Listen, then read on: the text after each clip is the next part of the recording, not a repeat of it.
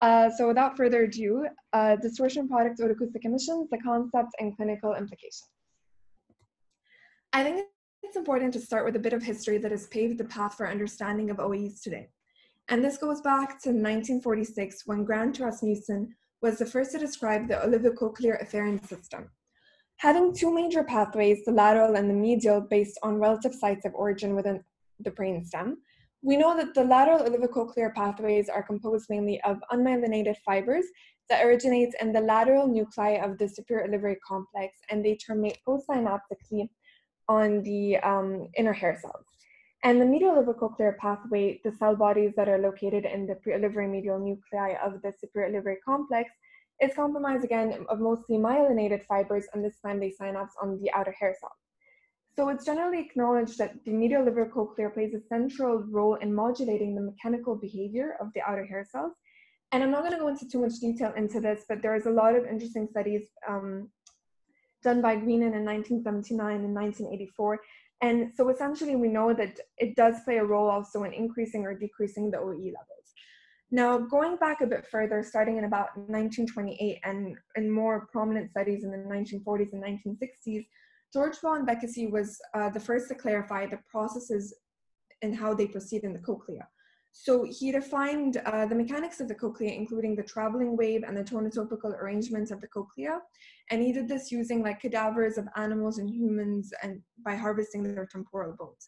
So in his studies, he needed stimulus intensities of approximately 130 dB SPL to observe this traveling wave movement. And like we couldn't see very good um, frequency resolution. And we know that like as humans, we can hear at much lower levels and we have a lot of sharp tuning abilities. So something else had to be going on beyond the passive processing that he was describing.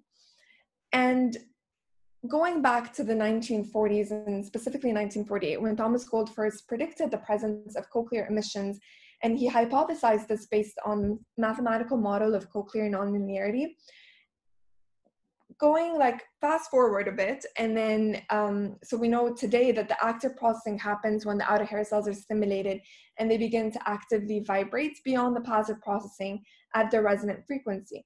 So the outer hair cells are going to actively contract up upon um, upward movements of the basilar membrane and expand upon downward deflection of the basilar membrane.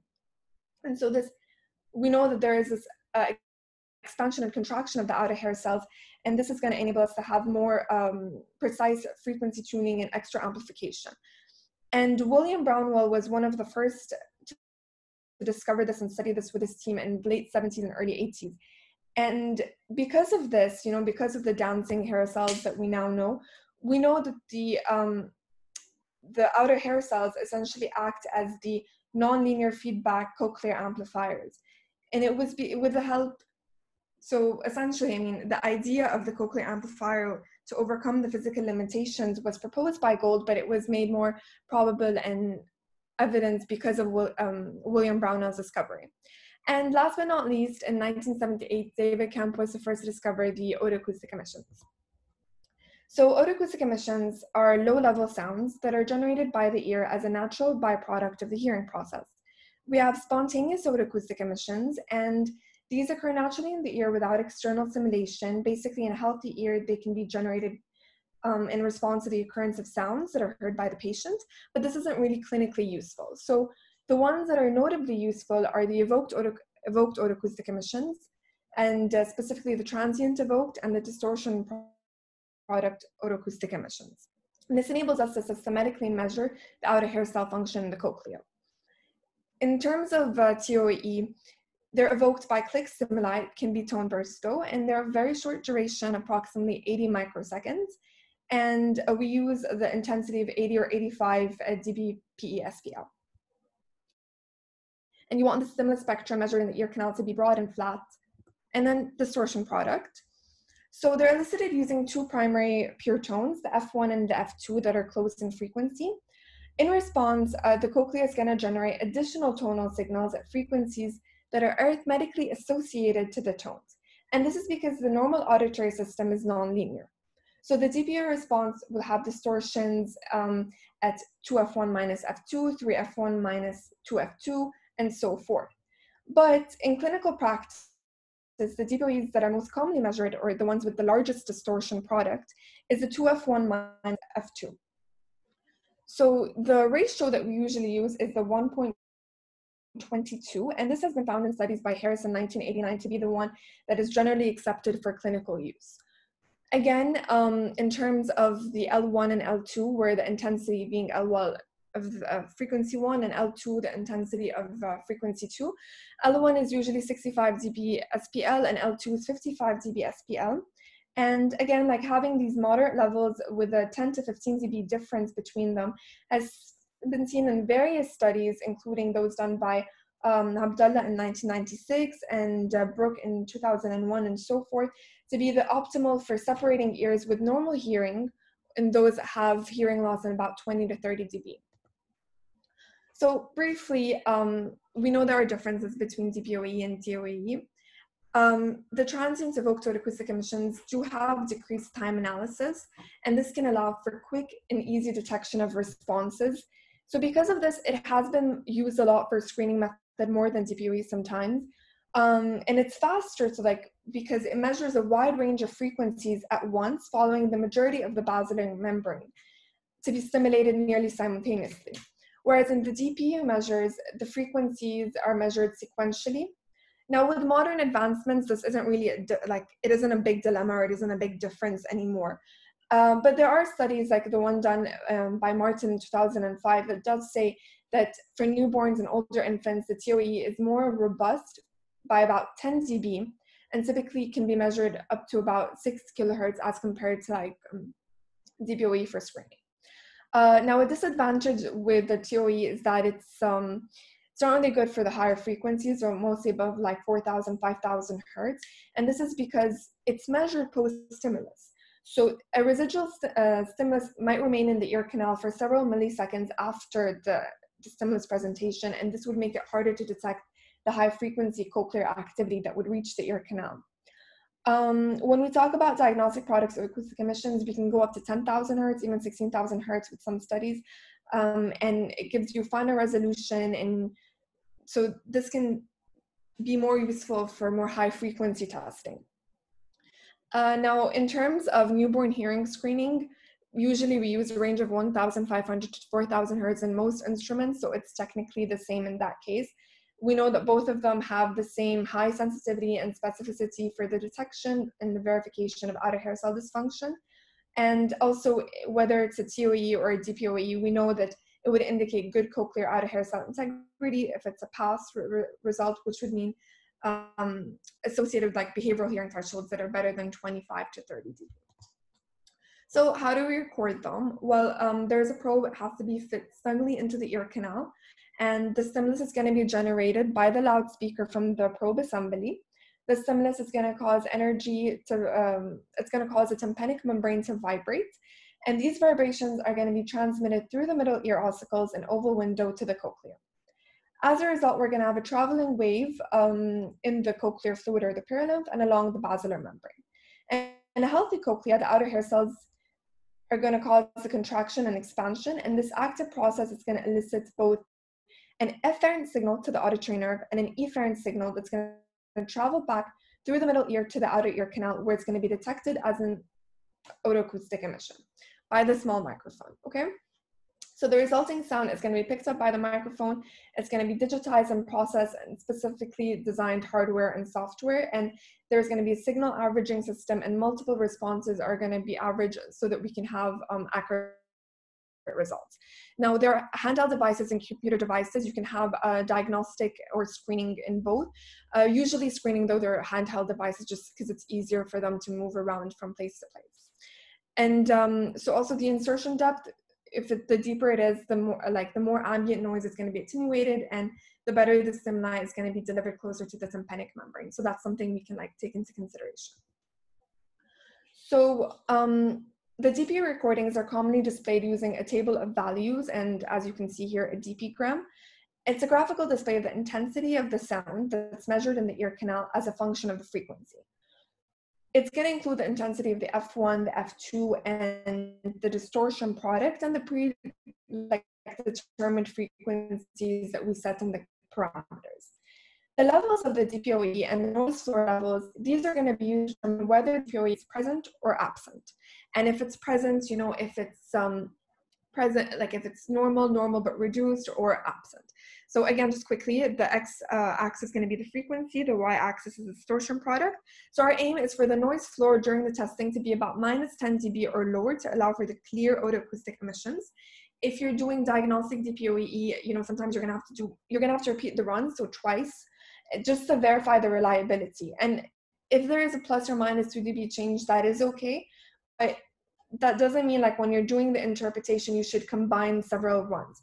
So if you have, if it's present at a single frequency in the first run and it's absent in frequency in the second run, then, you know, it's not consistent and you can't use this as a reliable response.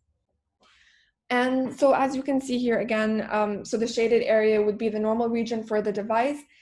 It can, now the, um, the average that's usually used in terms of like the parameters for what would be the normal limit is it to be above the noise floor by above uh, 6 dB. So that's a rough guideline. The difference between the DPOE and the noise floor to be 6 dB. You can have uh, different guidelines depending on the like the instrument protocols and the test populations normative data.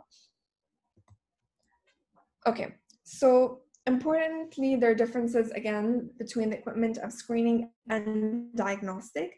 In screening, you can't really manipulate the test parameters. It's going to be a pass or a presence or a fail or absence of the emissions. Whereas in the diagnostic, we're able to uh, have multiple types of emissions to be measured and get more information about the test frequencies. And so with this, um, we're going to have numerical results for the interpretation by the clinician and this can be very important for for our analysis of different diagnostic or disorders so there are several parameters that can be adjusted one of which is um, the frequencies that are going to be tested so for example if you're going to test the effect of ototoxic medications on the auditory system, we want to go for very high frequency DPOA evaluation. If we're doing it as a cross check for a young child of behavioral hearing responses, the frequency range that we're going to be testing is going to be limited to a more standard audiometric range. Now, importantly, again, it's not a test of hearing, and that's something that we have to relate to the parents when we're doing the testing. It's a reflection of the inner ear mechanics. Passing the test or normal results in the test would indicate normal middle ear and cochlear function is present, but it doesn't give us any information about the degree of the loss. So this is something that has to be very clearly stated to the parents, and this goes into the newborn hearing screening. And the emergence of the automated OA technology in the late 1990s helped contribute to this rapid growth of the universal expansion of newborn hearing screening. So, the early hearing detection and intervention refers to the practice of screening every newborn for hearing loss before they leave the hospital. And this goes into accordance with the Joint Commission of Infant Hearing. And in the recent guidelines that they published in 2019, so we know that usually we have the 136 principle. So you have to do the screening no later by one month. If diagnostic um, tests need to be happened, that has to be by three months, and intervention should be no later by six months. So now we're trying to reach, that's still acceptable, but we're trying to be more ideal to reach the one, two, three principle in which the intervention would happen no later than three months. Um, so also, you know, in certain newborn hearing screening, if you have certain risk factors, like for example, prolonged stay in the NICU or any kind of syndromes, um, OAE may not be enough and we need to do AABR. Uh, also in terms of uh, hearing screening in schools, we can use DPOEs for that. Uh, there are various studies about this matter. And if more specifically, there is a study done by Berg and Durkin in 2006, where they say that DPOEs and tympanometry are preferable to pure tone screening because it's when you're doing pure tone screening, they had unacceptably high referral rates of about 70%.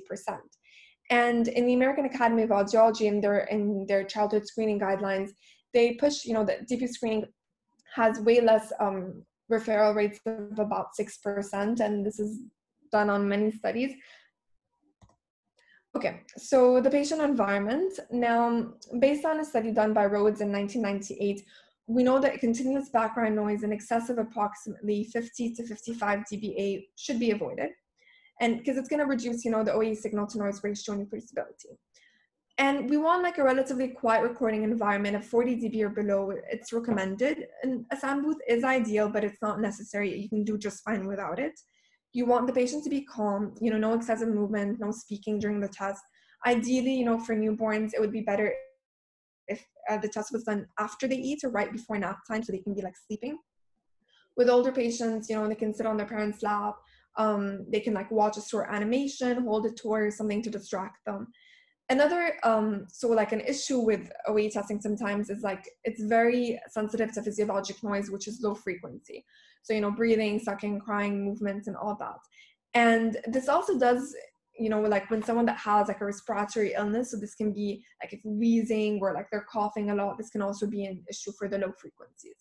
Um, so last comment I want to make about this is like to avoid electrical um, like artifact, to have the probes and like the the sorry the cables to be separated.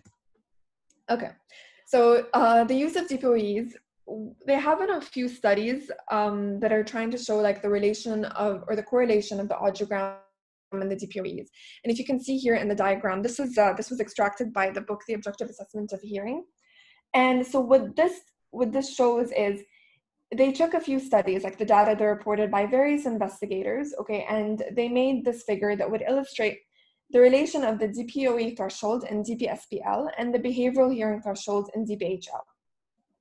The diagonal line that you see goes from minus 10 dB to 90 dB for pure tone and dB threshold values, and this does indicate an ideal correlation between the two variables. So the limitations in this are, as you can see here, by the two hypothetical data points. There can be an underestimation of the hearing loss. So if the DPO threshold of minus 10 dB would imply better than average hearing of about 10 dBHL. And there would be a discrepancy in this in reality when you do the DPOE and the audiogram. Now, it wouldn't lead to a misdiagnosis of a sensory loss or poor management decisions, of course, but there still would be this issue if, you know, sometimes with a sensory hearing loss, there are patients that have an inner hair cell damage or neuroauditory dysfunction, and they would have normal OAEs, but they would have, you know, abnormal audiograms. So this causes to have an underestimation. Another issue that's a bit worrisome is the overestimation of the hearing loss. You know, in case they had normal OAEs, but they had a, an issue with like an abnormal audiogram, and we can't just use this to rely solely on the DPOE. But it is still a useful uh, uh, tool to use, and it can be used better in the cross-check principle that was first described by Jerger and Hayes in 1976, and also by um, James Hall stresses a lot on it. And so essentially, it would be better, you know, when we're trying to diagnose the hearing loss, especially for pediatric, to to have more than one test done, just so that we can have um, more accurate and prompt diagnosis of any auditory dysfunction and to not miss out or rule anything. Another important use of, of DPOEs is for functional hearing loss, you know, with malingers, they're trying to get compensation. And this is always something that can help, you know, again, with our test batteries, other things that we do, the Stenger test and so forth, we can be able to figure out, you know, if it's a malinger or not. So tinnitus, it has been theorized, as we know, to originate in both the cochlea and the central auditory system. And there is some, sometimes, you know, or mostly damage in the cochlea in the hair cells, so either in only the outer hair cells or in the inner hair cells or both. And this would lead to peripheral efferentation, which would be, you know, lead us to the beginning of our perception of tinnitus. So OE abnormalities are common and almost invariable finding in people with debilitating tinnitus, and there are various studies on this done by Ceranic in 1995, Hall in 2000, and Shiomi in 1997. And these are just some of like the early and really prominent studies, but there are a lot of studies nowadays too. So you know, within it, it's it's relatively rare to find someone that has tinnitus and a normal DPOE measurement. I mean, they could have normal but reduced, but like to have it completely normal is something that is a bit rare. And this is why like the OE measurement is incorporated into clinical audiology um, diagnostic assessment of people with tinnitus.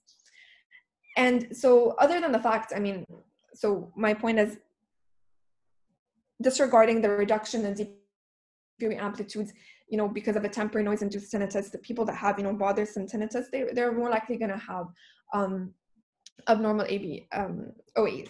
So as you can see in this uh, graph here, this was uh, taken from the Shiomi study in 1997, and it showed that the dpgram of the normal hearing tinnitus group was significantly different than those of the norm, like um, the people that had the tinnitus, and it was the significant decrease over the 4,000 to 7,000 uh, hertz range. Again, it can also be used in um, in counseling patients because you know when you show them the results and everything is normal and it can help them visualize a bit more when they see the DPOE and they see the dips or the abnormalities in certain areas. And it can also be helped, you know, you can do this um, pitch masking when you're going to do the tinnitus evaluation. Sometimes while they're doing the they're undergoing the DPOE assessment, they tell you, oh, this sounds exactly like my tinnitus. So this can help as well. Now, the middle ear effect, we know that we need a normal and a healthy conductive mechanism in outer and middle ear is essential for the measurement of the OEs. Both the inputs, like stimulus that's generated emission, has to pass through those parts of the ear. The acoustic emittance or like tympanometry can be a very important test to do prior to testing OAEs. And this can give us just an indication of what we can expect we know that pathologies involving the middle ear are going to have a profound effect on both the forward and the backward energy transmission, and they're going to hinder our measurements. And this is seen in studies by Kemp in 1919 and Owens in 1992. Some of these are, for example, like the tube dysfunction. So this negative pressure is going to cause a reduction in the OAE amplitude, and it would be because of the increased middle ear impedance. It's going to cause a decrease in the transmission then of the acoustic energy, mostly at the low frequencies as they pass through the middle ear.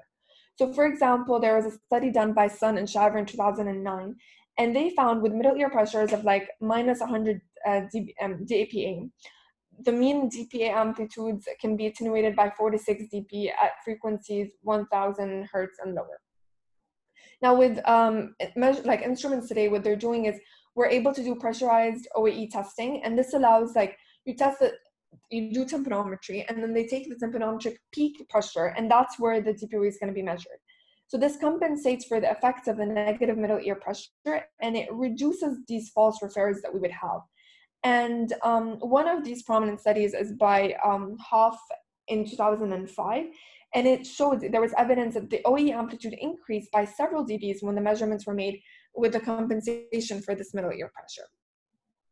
Uh, in terms of uh, perforations, so we know by Malfers, um, if it's a small perforation that's about 25% of the tympanic membrane, then you can still detect an OAE, especially in the region between 2000 to 5500 hertz. But if, when we go into perforations at about 50% and larger, that's what, or like those that are associated like a um, lymphatic fistula, that's a very tra- or a traumatic um, injury or a disarticul- disarticulation, then uh, we would have absent OEs.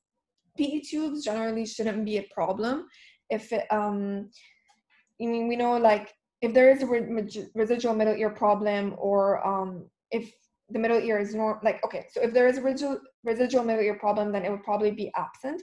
But if it's a normal middle ear um, function and it's open and everything then we should have normal results or a bit reduced results. Now uh, there's a study done by Salim in 2007 and they showed that like right after the myringotomy like at that site if there's a presence of blood or anything and if the tube wasn't patent or there was an underlying middle ear pathology then of course we would have absent results. But generally speaking they shouldn't have this effect on OEs Obviously, um, otitis media and middle ear effusions are going to cause a reduction in the OE amplitudes and perhaps depending on the extent and absence of the amplitudes. But, you know, as with most of the middle ear um, conductive components, you know, after the treatment or the surgery, if the residual conductive loss is very small and the cochlea is normal, we are going to have OEs again. So in terms of otosclerosis, the stapes cochlear impedance is going to increase substantially, and this is going to affect and cause a decrease in both the forward and the background transmission. So we're going to have um, reduced or absent OEs in these cases. But again, um, there are a few studies like the one done by Campos in 2002 that show the reappearance and even the increase in level of DPOE after the successful treatment and restoration of the conductive hearing mechanism. And there are, very, uh, there are a lot of studies about this, one of which is um, Riyad in 2017. And he actually uses this to propose like that we do DPOEs as an alternative method for evaluating like the success of the stapes surgery. And in its quick test, it, it, it doesn't take a lot of time and um, it's objective and there'd be no participation from the patients and everything. So he thinks that this can be something that we can substitute or do with um, in correlation like with the audiogram. Uh, there are other studies also by McGraw and Wolf in 2010 that also show, you know, an, an increase or improvement in DPOEs post uh, successful stapedectomy or stapedotomy. Now, here though, the study that was done by Singh in 2012, it also showed, you know, great um, increases in, in um, DPO amplitude post uh, surgery, like one month pre-op and three months pre-op. But in this study, it showed that it wasn't really statistically significant. So there are variable studies, you know, studies for studies that show that it isn't very statistically significant studies that show you know that they stay relatively the same now i mean with the high frequencies of course we don't expect to see this um, improval because you know with the drilling and the surgeries we expect to have like a bit of a high frequency loss or it stays the same but in the low frequencies i mean it should be um, it should go back to normal or increase i mean i personally think that like in the future we would be doing more DPOEs with the otosclerosis patients, you know, post surgeries. And I, I think it will really, even like for the patient showing them the results, it would make a difference. So Meniere's, uh, like always, there is some variability in the expected results. Um, DECLAIM in 2002 shows, if you can see here in, in, in the picture, the incidence in the study showed a emissions in affected ears was 56%, and that was lower than the unaffected ears, which was 85%. So he saw that there would either be abnormal or absent OAEs measurements in these. Now, Kemp in 2002, um, you know, he was saying that OEs are normally very stable with time, and they're valuable as a sensitive monitor of changes in cochlear and middle ear status over time. So we could use this in relation to Meniere's and following the episodes we could monitor like how what's happening and what's going on um, again also you know there are studies done by hall and um, Bartoli in 1992 and so forth that show, you know, even with patients at Meniere's, there are 20 to 30% of the population that has normal OAEs. So, I mean, there are divergent results for this, and, and this makes sense with the different pathophysiologies that we have for Meniere's. Okay, so auditory neuropathy. Um, the OAEs are typically normal for this. We have normal cochlear outer hair cell function. If we were to do the ABR, ABR, we would get a fail, you know, if we were doing a newborn hearing screening. Now, with that, like that being said, um, there have been studies that have shown, you know, uh, by Sininger in 2002 and Starr in 2000, that the DPOAE may deteriorate over time. So this it's not okay so we know that typically they're going to have normal oaes but i mean that being said there are some children with auditory neuropathy that do have absent oaes even though they have evidence of cochlear function based on the presence you know of cochlear microphonics with the ABR and they'd have extended cochlear microphonics with the condensation and the rarefaction stimuli so these there are also other two studies that have showed the gradual loss of the OAE reactions in pediatric cases done by um, in 2012 and uh, previously back by Deltenre in 1999. So the issue is, is with this new study also that has been done by Kitao in 2019, they, they show that there are certain genetic factors that can play a role into this, and this is why we have the deterioration in DPOEs with children or you know with adults. And this could be the possible cause. It could also be, you know, they speculate, you know, because of the hearing aid use, the outer hair cells are going to deteriorate over time which is a big possibility seen in a lot of studies done by Starr in 1996, Mason in 2003, and Rio in 2006. So this is a possibility, but there also has, we concluded, or they conclude in the study that the DPOE was decreased or lost in approximately 70% of the population and 80% of the adult cases as well. So I mean, could this be because of the genetic mutations? Why exactly is happening? There is some variability to that. We're still not exactly 100% sure about these things, but we do know that this is something that we can see and that is very highly probable. Um, so auditory nerve um, processing disorders, it's part of the American Academy of Audiology's uh, recommended guidelines in 2010 to have um, part of the peripheral test battery to do DPOAEs from 500 to 8,000 hertz, approximately, you know, five frequencies per octave or more. And so if it's mostly just a central processing um, disorder, then we'd expect normal OAEs. But if there's also an issue with the auditory processing, you know, so we can have the chance of having abnormal ABRs and then study done by Hall in 2006, he actually found to have abnormal OEEs and 30% of the children that were being tested for um, uh, auditory processing disorders. So, this is this goes back to the whole cross-check principle, and it's very important because we don't want to miss out on anything. If this if this child was diagnosed with having auditory processing disorders without OEs being done, for example, and um, you know they let's say the the audiogram was normal, we we'd miss out on helping the child, you know, being able to like do better and hear better and and reach the levels he would be able to reach in terms of like academic and social and, and environmental situations to do better. So in terms of vestibular schwannoma, well, the cranial, um, so okay, even though the outer hair cells are gonna, um, they're pre-neural, and so, you know, they just are gonna, OEs are gonna be able to tell us about the integrity and the functioning of the outer hair cells, but we do know by a lot of studies that have been done um, prominently by Telischi in 1995 that the DPOEs are going to be altered and abnormal. So they found that although the behavioral hearing thresholds were higher with the larger tumors, the OE levels exhibited no clear relationship to tumor size. That being said, the tumor's cochlear effect on the evoked OE activity, it's mostly likely because of the indirect so it's indirectly because of the mediated compromise of the organ of Corti's vascular supply because of the, the tumor. And um, so they found that in 57% of the people that had a vestibular schwannoma had absent OEs. Recently, also, there is a relatively recent study done in 2018, and based on their clinic experience, they say that OEs are often absent or compromised in vestibular schwannomas, and they propose that this can be used, or DPOEs can be used as in a clinical setting to monitor the progression of the cochlear uh, damage at the early stages of the hearing um, impairment in the vestibular schwannoma patients. So ototoxicity monitoring, last but not least, um, it can be used for early detection of cochlear damage. Obviously, it would be more towards the high frequencies, 2000 hertz and above.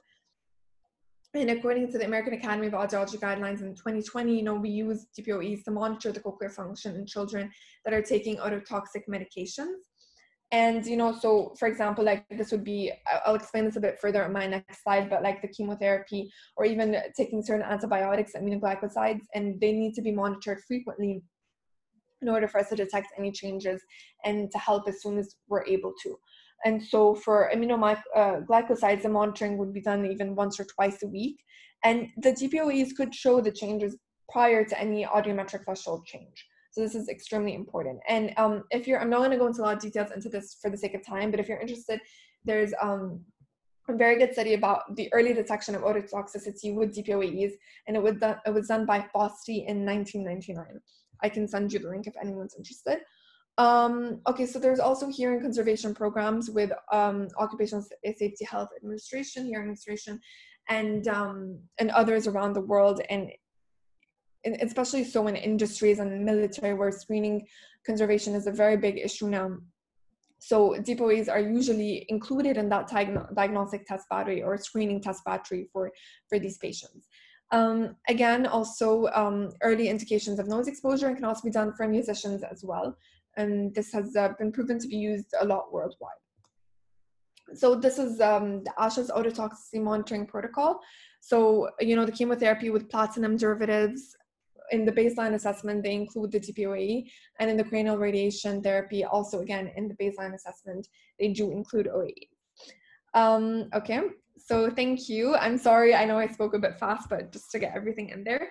Um, if you're interested, if you have any questions, um, I put a link of our website below. We have a lot of like educational information on there, and our email address is there. If you have any questions, I'd be more than happy to answer them. Thank you so much, uh, Zainab, for your uh, lecture. It was very informative. We have a couple of questions. Let me see if we can take one of the questions with the time remaining. Sure. Okay. The first question, um, does DPOE screening help in any specific finding versus TE? Okay, so there were studies um, that showed sometimes like if, if a child were to uh, fail a TOEE, when they repeated the DPOEs, um, there was a higher incidence of it passing. Now, I mean, technically it depends on the instrument you're using it depends on the parameters of an instrument they're usually between 1500 hertz and 4000 hertz so it shouldn't really have a difference and nowadays it's acceptable to use both but there were some studies that showed that you know dpoes sometimes have a better um you know like past results in case of a failure of a TE. Uh, do you have any um dr sino do you have any input for that? I know that you yeah um, for me i always use dp i feel it gives me further information than simply doing, mm. doing te but yeah. yes it depends on the um, protocol we're finding. Okay. I think yeah. we don't have any more questions so i'm gonna end it here. I'm gonna thank you for your time. Thank and you. on asking about if we're going to be posting the youtube posting this presentation on youtube i will think we'll will provide this answer in a few minutes to everyone Okay. Thank you again, Zainab. Have Thank a nice you so much. Thank you so, so, so much. Have a nice day, everyone.